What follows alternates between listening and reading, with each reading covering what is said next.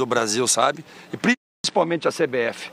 É quase inacreditável que saiu uma tabela da Copa do Brasil hoje, com jogos dia 10, 17, 80 clubes que nós vamos levar jogadores com delegação de 30 pessoas para um lado, para o outro do país. O nosso país parou, gente.